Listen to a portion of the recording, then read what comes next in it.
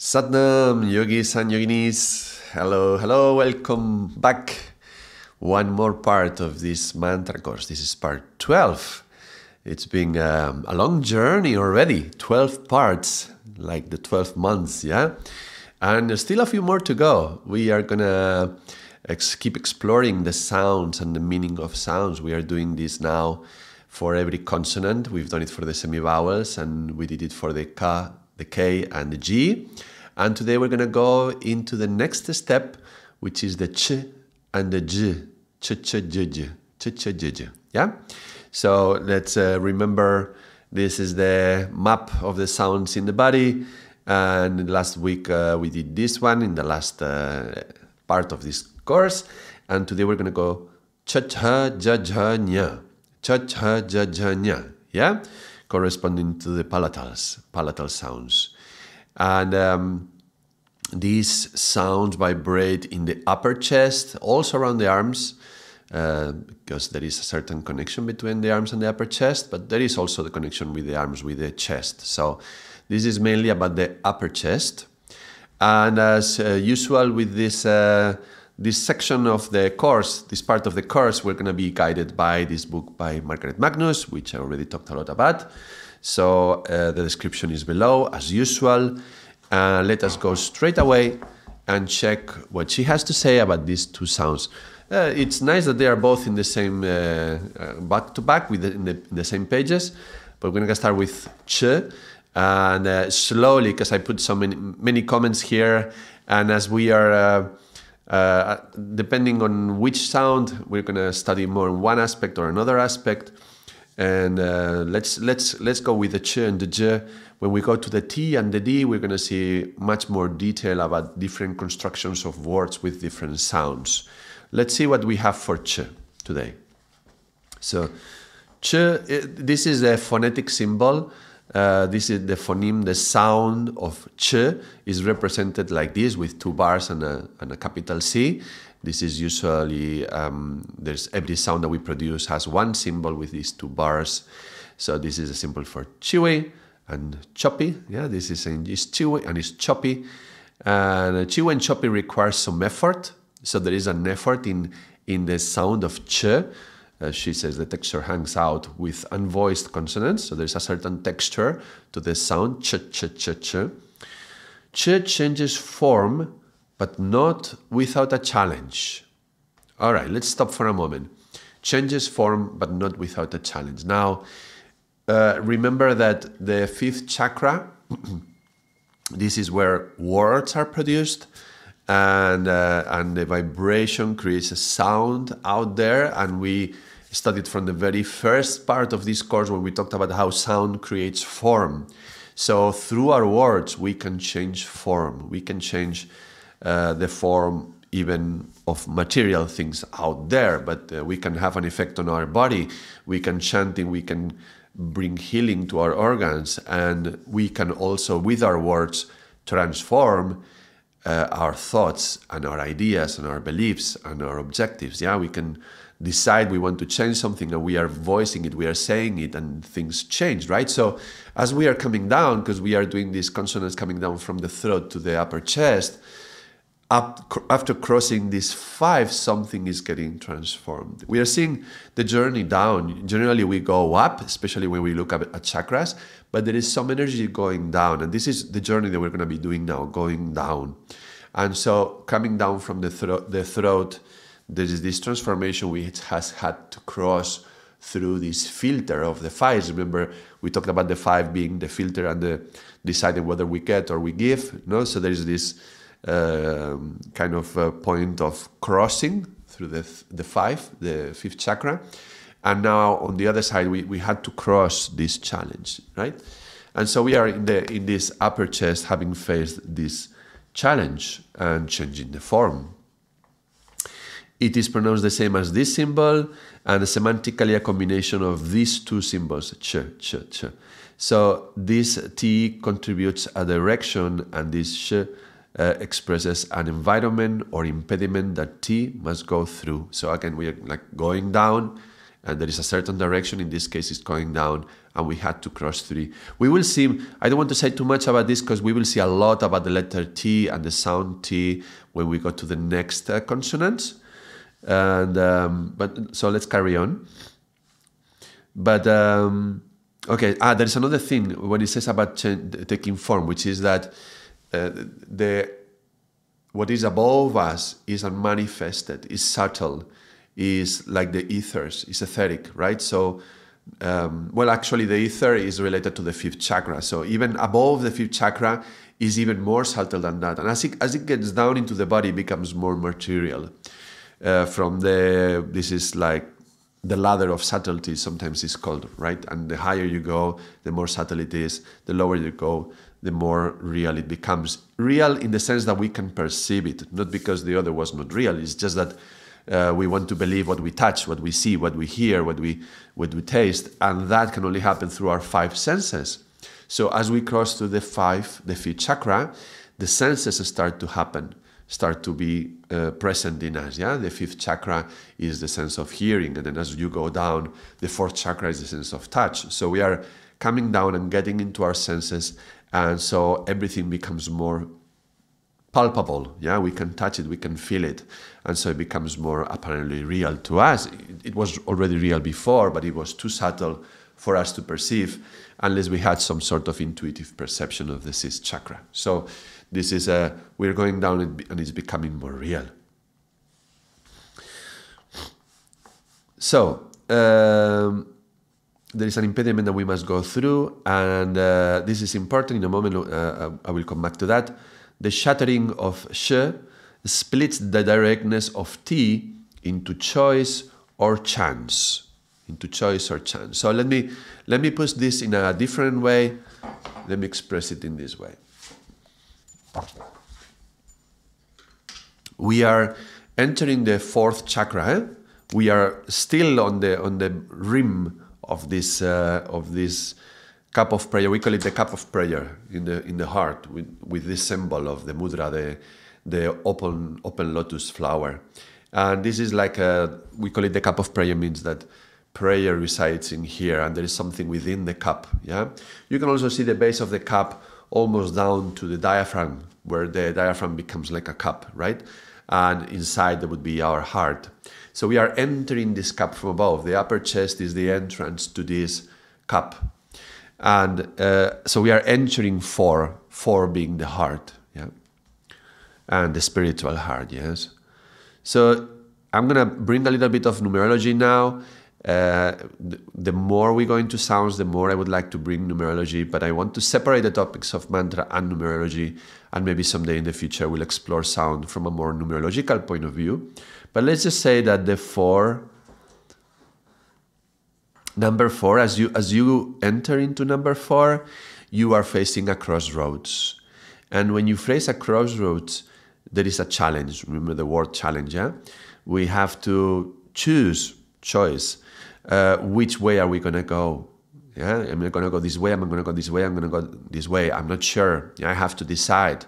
We say that the heart needs to choose, not the mind, because the mind tends to react according to the patterns established in our own history, according to our experiences, uh, some beliefs, some values, some some memories are established in our in ourselves, and those are going to condition my decision.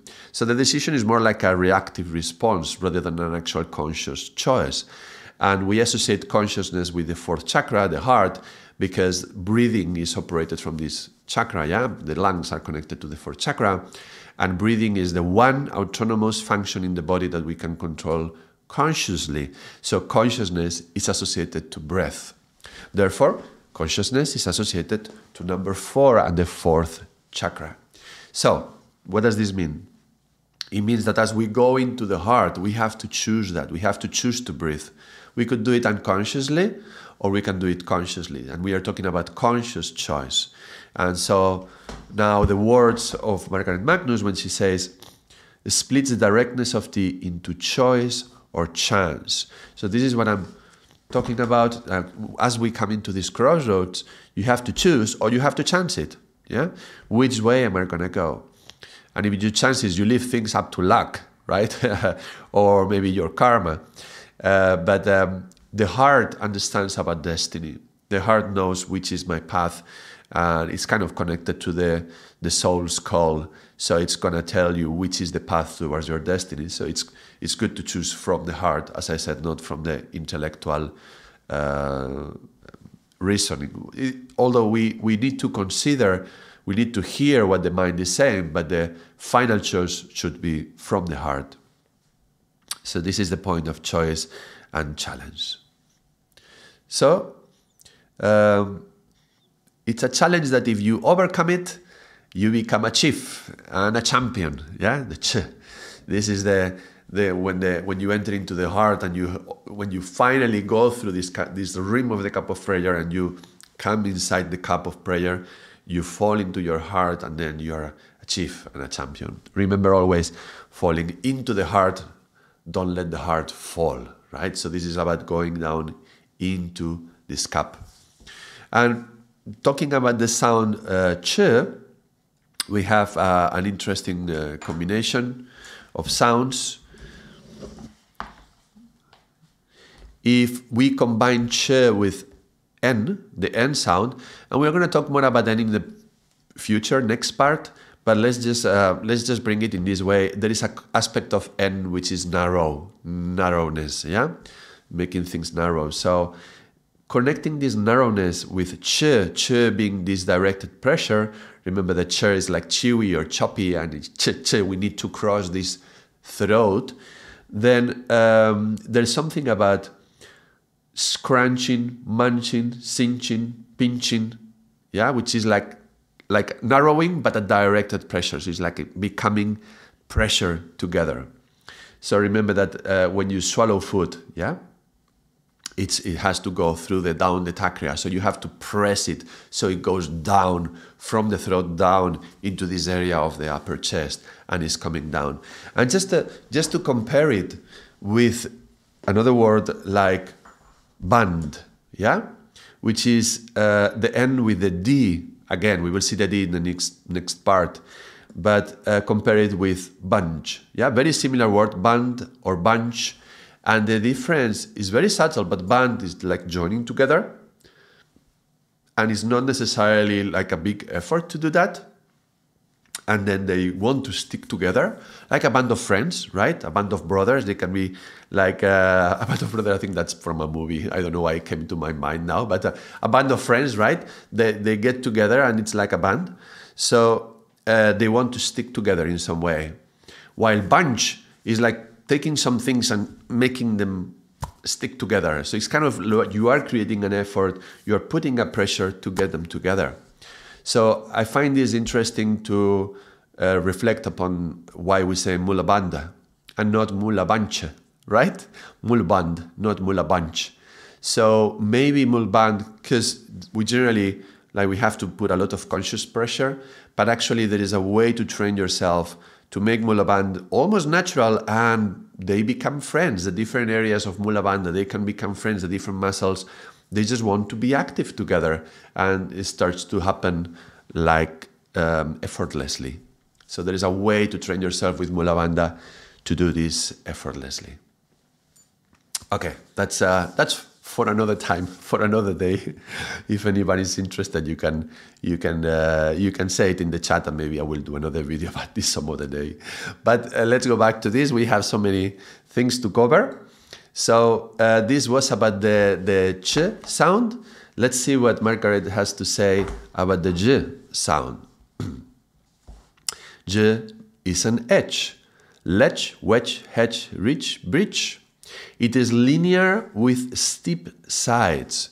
Now I, I draw a little cup here, so you can see the, the, the, the rim of the cup is linear. It's a circle actually, but it's linear. It's a line and there is steep sides on each side. You can fall into the cup or you can fall outside the cup. It lives very tenuously with the ever-present danger of falling into the abyss, yeah, falling into a cup may be scary. Falling into the depth of our heart may be scary, especially if in the heart we have pain and trauma. So we may want to avoid going into the heart, but then so we avoid also contacting uh, our heart's destiny, let's say. It has both the cut gems and the rejected junk. So the gems and the junk.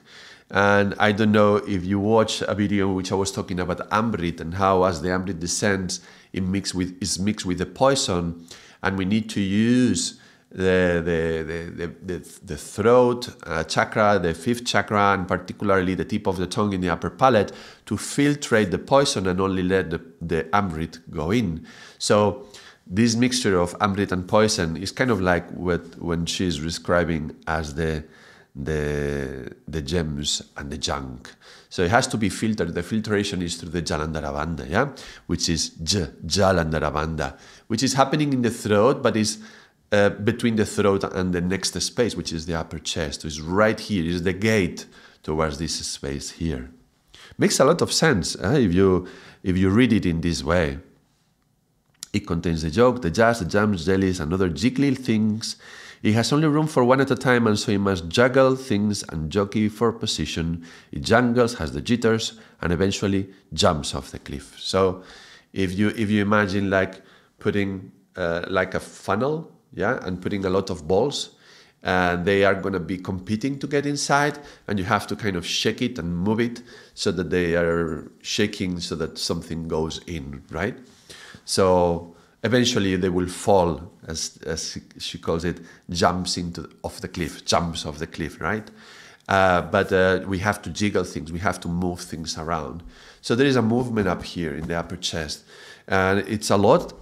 It's very emotional. Yeah, it's a, it's a aspect that connects to um, a lot of emotions. So uh, feelings and emotions actually. We will see more about this in the next uh, part of this course. The next part is going to be packed with stuff. Uh, but yeah, there is going to be a lot of things happening there. And so when you jumping into the cliff, uh, jumping off the cliff, this is like when we talk about the leap of faith. Yeah, going into the heart, it, you require a great degree of trust and and uh, faith. There's two components, slightly different, but both are connected to this. Trust is something with a T and the R, S T. So a lot of T sound. Maybe we will explore trust in the future video, in the next one. Uh, and, and faith is something that is uh, about this jumping off, yeah, jumping off the cliff, like jumping inside this cup of prayer, like allowing yourself to go into the prayer. It requires faith. You cannot pray without faith, right? Uh, she mentions also how it's very present in many names, like Joe, Jim, Janice, George, Jeff, Jason. Well, there's a lot of them. Uh, so names is interesting because it connected to Nam. Name is Nam, and Nam is identity, and our true identity resides in the heart. This is the Sat Nam, yeah, within our heart. And if we had to place the soul somewhere, we would place it in the heart. Yeah? We don't really know where the soul is, but if we had to locate it somewhere, it would be the heart. And the soul is what we call jivan, J, G. So sometimes in we say, oh, Satnam Ji, yeah.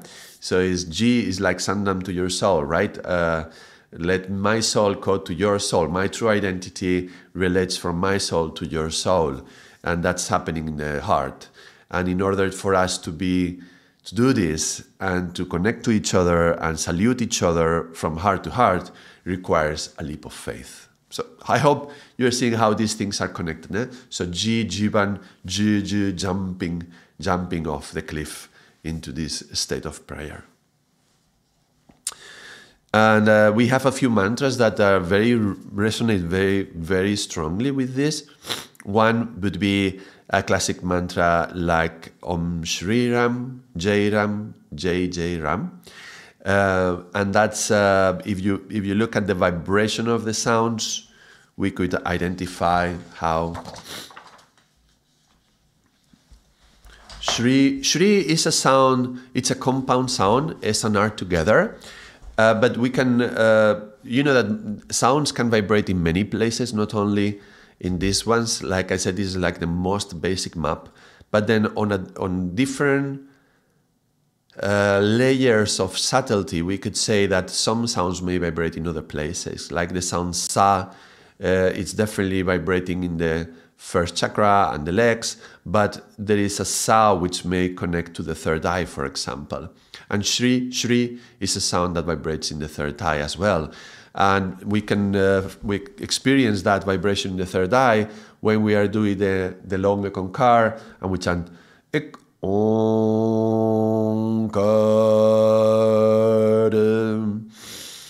Sat Nam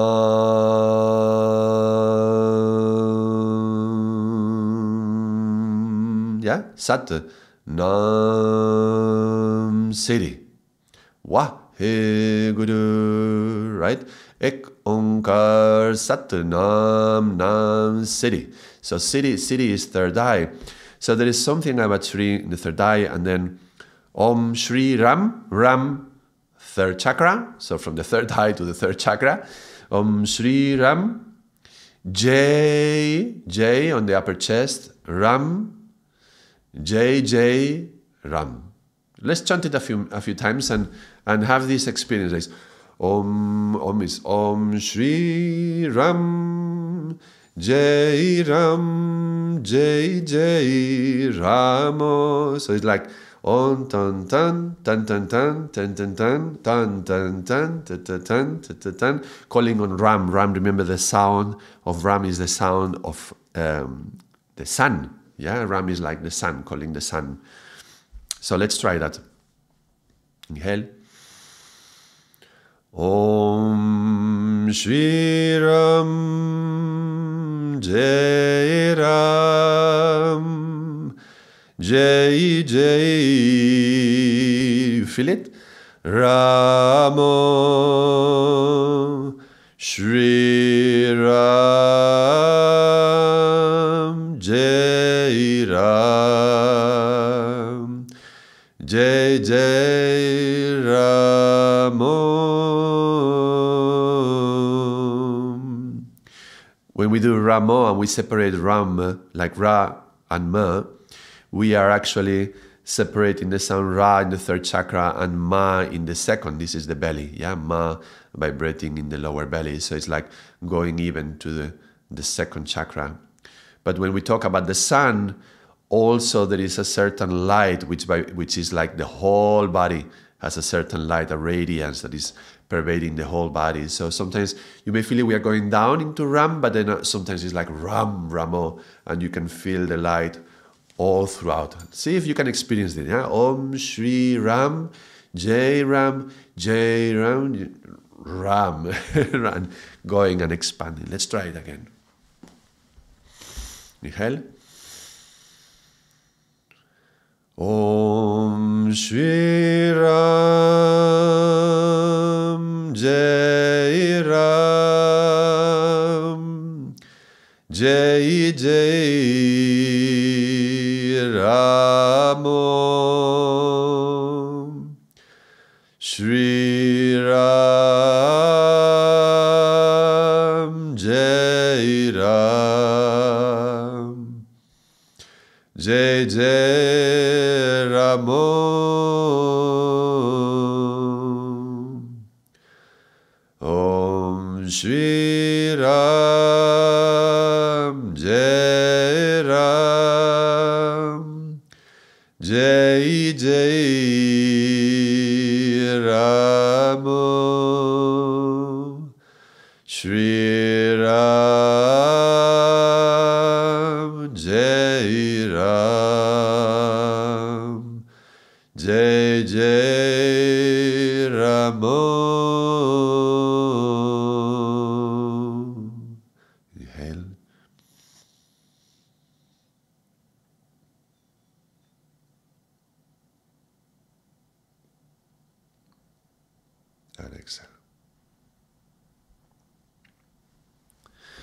Hopefully, you can start to feel these places as, as we chant them, how they vibrate.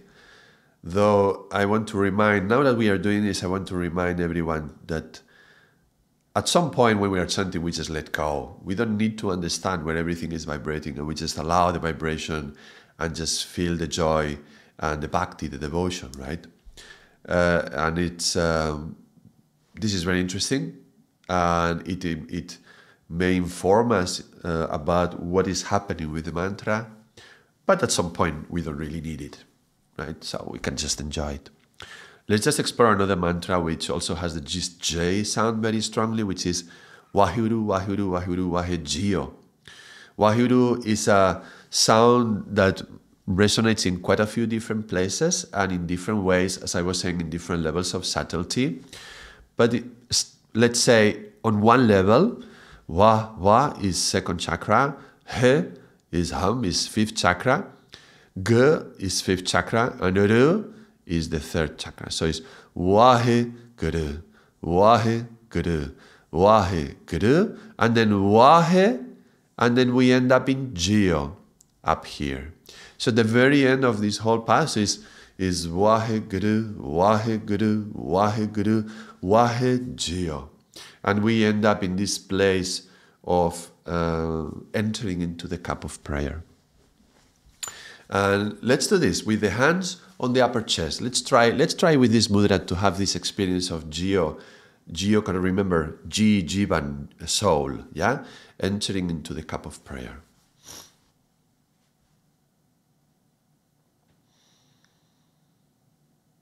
Inhale.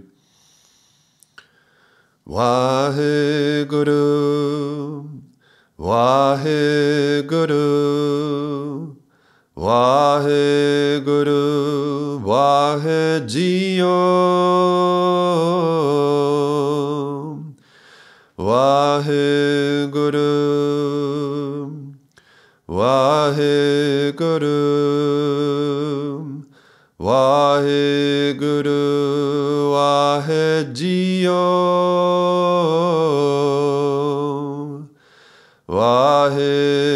Waheguru, Waheguru, Waheguru, Wahejio, Waheguru,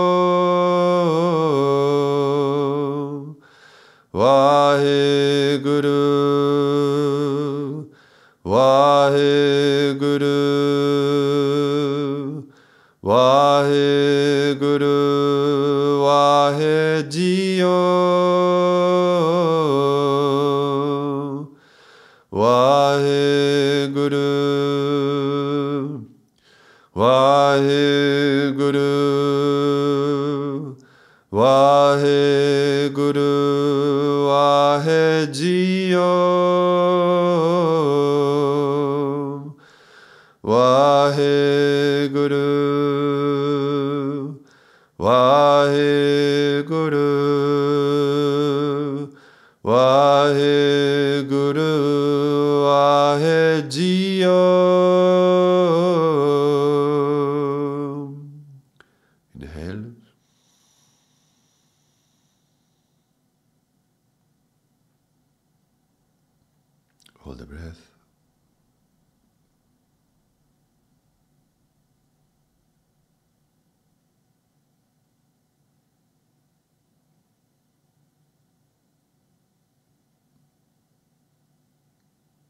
exhale.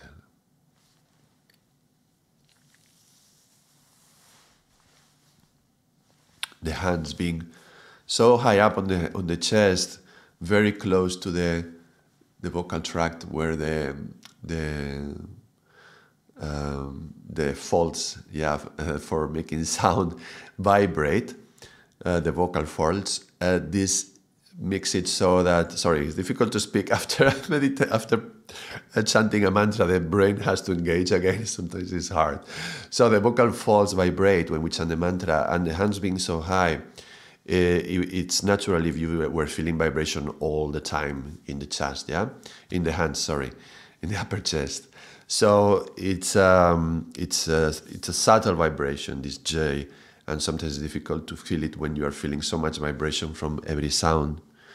There would be other ways to experience Waheguru. There's other understandings of how vibra- how does it vibrate, like Wa being you could you could say second chakra and He is you could say vibrates in the heart because H, H is an aspirated sound and requires more air.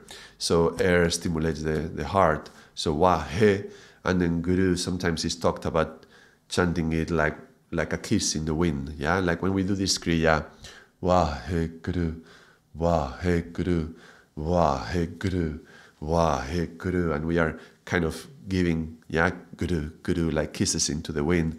Waheguru, Waheguru.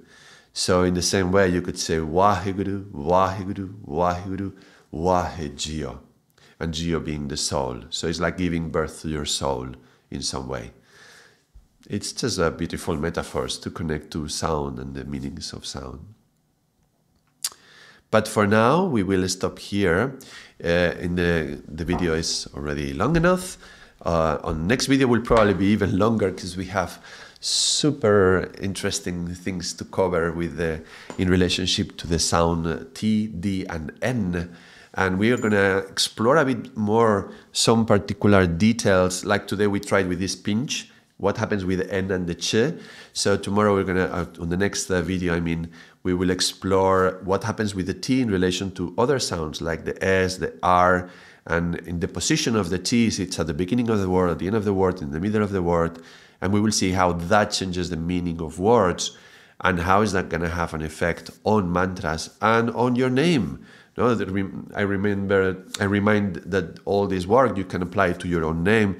So if you have a name that starts with a J or with a Ch, then you can um, see everything I mentioned in this video. You can take it as a reflection and meditate on that, see how it touches you. Uh, so far, I hope you uh, enjoyed this uh, little part of the course, part 12. And if you have any comment, please write it down and like the video. If you are not subscribed and you want to keep on learning more about sound and letters, subscribe yourself. If you, if you hit the bell, you will get a notification when the new video comes up. And it also helps the channel because YouTube will understand that more people are interested and so it will offer this video to more people. So I do this as a service for these teachings to come to many people and I hope that uh, if you enjoyed it, please support it by liking it and, and sharing the, the video. And um, so far, that's it. Thank you very much. And until next time, Salam.